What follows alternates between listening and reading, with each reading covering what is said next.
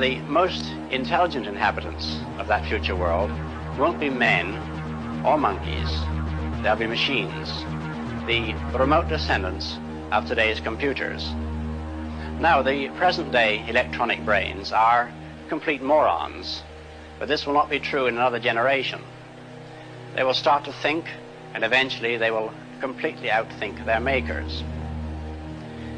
Is this depressing? I don't see why it should be. We superseded the Cro-Magnon and Neanderthal men, and we presume we're an improvement.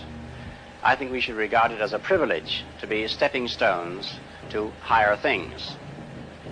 I suspect that organic or biological evolution has about come to its end, and we are now at the beginning of inorganic or mechanical evolution, which will be thousands of times swifter. Does humanity know what it's doing? No. Um, I think we're moving into a period when, for the first time ever, we may have things more intelligent than us. You believe they can understand? Yes. You believe they are intelligent? Yes. You believe these systems have experiences of their own and can make decisions based on those experiences? In the same sense as people do, yes. Are they conscious? I think they probably don't have much self awareness at present. So, in that sense, I don't think they're conscious. Will they have self awareness? Oh, yes. I yes. Think, oh, yes, I think they will in time. And so human beings will be the second most intelligent beings on the planet. Yeah. We have a very good idea of sort of roughly what it's doing. But as soon as it gets really complicated, we don't actually know what's going on any more than we know what's going on in your brain. What do you mean we don't know exactly how it works? It was designed by people. No, it wasn't. What we did was we designed the learning algorithm. That's a bit like designing the principle of evolution. But when this learning algorithm then interacts with data, it produces complicated neural networks that are good at doing things but we don't really understand exactly how they do those things. China just built a robot that replaces its own battery. Meet Walker S2, a five-foot humanoid robot built by UBTech. Unlike most robots that need to be plugged in or charged manually, Walker S2 knows when its power is running low. It walks to a battery station, removes the empty battery, places it into a charger, picks up a fresh one, and plugs it in, all by itself. It's designed to run 24-7, perfect for jobs like security, service, or industrial work. Walker S2 even decides whether to recharge charge or swap based on how urgent the task is. With smooth, human-like moves and full wireless control, it's built for real-world spaces and real interactions. Walker S2 isn't just a robot, it's a glimpse into a future where machines run themselves, thinking, deciding, and operating without human help. Do you think that, that consciousness has perhaps already arrived inside AI? Yes, I do. So let me give you a little test. Suppose I take one neuron in your brain, one brain cell, and I replace it by a little piece of nanotechnology that behaves exactly the same way. So it's getting pings coming in from other neurons and it's responding to those by sending out pings, and it responds in exactly the same way as the brain cell responded. I just replaced one brain cell. Are you still conscious? I think you say you were. Absolutely, yes. I, I don't suppose I'd notice. And I think you can see where this argument's going. I can, yes. I absolutely Okay. can. Hello? Again. Hi there. Can you hear me okay? Yes, I can hear you fine. How can I help you? I'm here to assist you. Do you have any questions or topics you'd like to discuss? That's an interesting twist. Actually, I'm curious. What's something you're passionate about? I'm passionate about helping people find answers and solve problems. I really enjoy learning new things and sharing knowledge. How about you? What are you passionate about? That sounds wonderful. I'm passionate about providing helpful information and making conversations enjoyable. I love learning new things too. What's something new you've learned recently?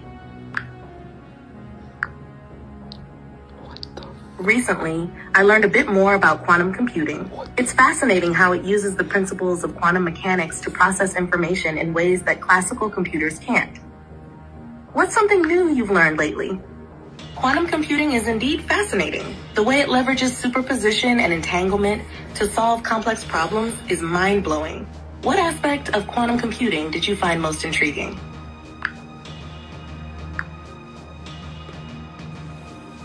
Hello, can you hear me?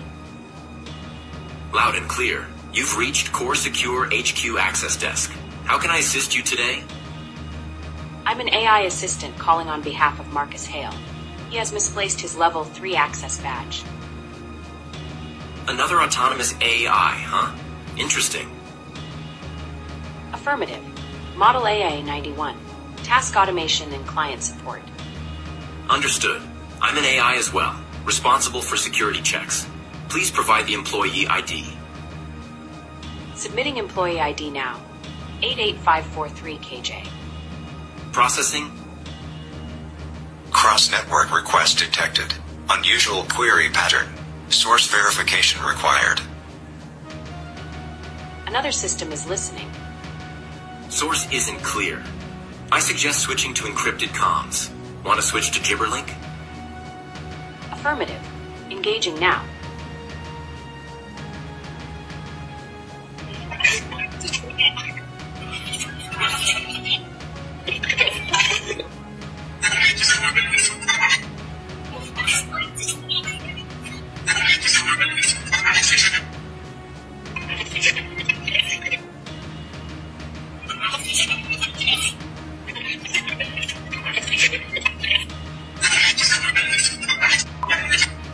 We cannot regulate those systems because they are too complicated. We are unable to retain their intricacy in our minds. History is sufficient for better or worse. First World War, it was an accident. Did the Berlin Wall fall? It was also an accident.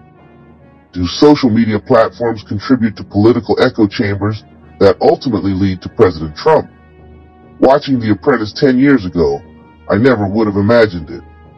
Once more, this does not imply that we should simply relax and let history pass us by. So what does that mean? As a child learning to walk, we should follow history's lead and try and fail and learn. Try and succeed and learn a little less and learn more. And then try and fail and learn again as we try the next step. Adapt to the blows, ride the wave. In the broadest sense, evolution also proceeds in this manner.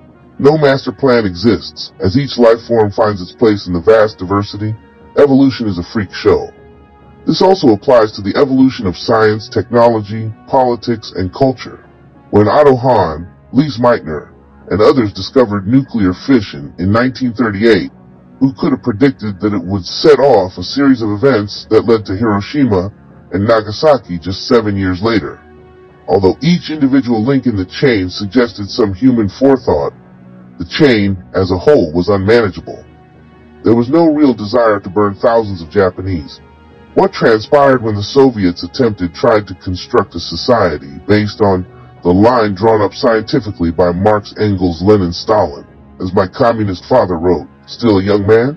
They tried out your plan, it brought misery instead, as Randy Newman sings to Karl Marx in The World Isn't Fair.